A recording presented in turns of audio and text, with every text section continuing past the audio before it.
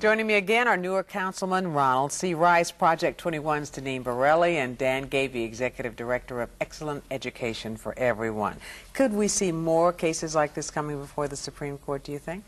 Uh, yeah, I think um, uh, Justice Kennedy, when he wrote the concurring opinion, actually stated that race could be used in diversity issues citywide in places like Seattle. So I think that while we have a fractured court 5-4 and then a concurring opinion from Kennedy, I think it adds more confusion actually than it does actually settle cases. So I think you're going to see a lot of test cases uh, looking at other means of using race. That people will try to use race in citywide diversity plans. People will try to challenge to see how far they can go, how far uh, that race is not allowed. So I think it's actually not clarifying it, it's actually making it more confusing.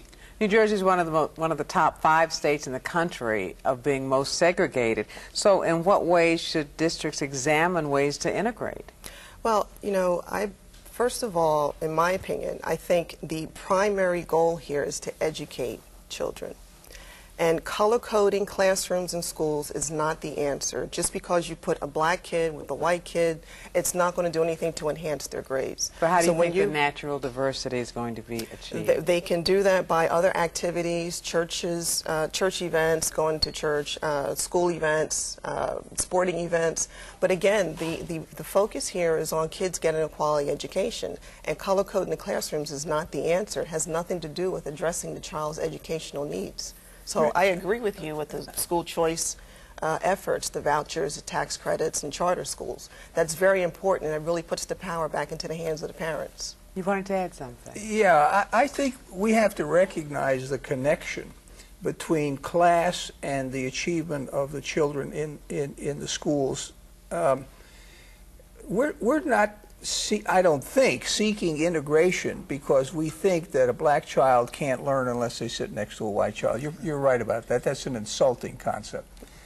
What E3 is concerned about is we, we all over this country, suburban parents who have money have the freedom to leave their schools.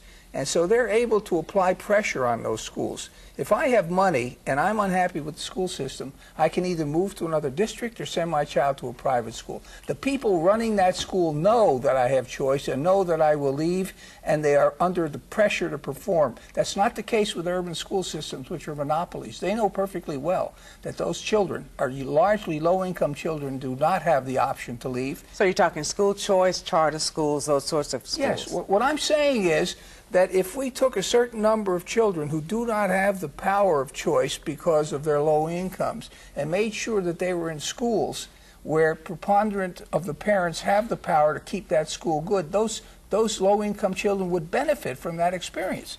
In other words, what we're talking about here is the urgency of having high quality teachers in front of low income children. An economic issue and not just one of. That does not, that's not race. the case. All over America, the studies have demonstrated that, and I, I hate to say this because there's some wonderful people teaching in, in urban school systems, but they're not at the caliber of teachers that are in the suburbs. And if you don't have a fine teacher, you will not succeed, particularly with children who are coming from difficult circumstances. What will the impact be in the Garden State? Well, if we were to say, for example, that we wanted to, to basically move children based upon their socioeconomic status, and we, and we set a level, you couldn't, I mean, up to, say, 200% of the poverty level, or you have to qualify for free and reduced lunch, and we said those children could take the, the, the value of their education and go anywhere they want it would have a tremendous impact because they would choose better schools. But Dan, what would your reaction be? The biggest problem is that, and I think Dan said earlier during the break, was that the state of New Jersey has never had a, a, a way of diversifying schools, never had a plan to. Abbott versus Burke, which is to provide a thorough and efficient education in our urban schools, the special need districts, if you will, uh, it's, it's been about establishing uh, good education in those particular districts. But Gary Orfield and Orfield and Hatch have done studies in New Jersey that we're one of the most segregated schools. So even when we're putting more dollars into the system and, dealing with what I guess Seattle and Louisville now have to deal with with socioeconomic ways of, of, of bringing dollars in,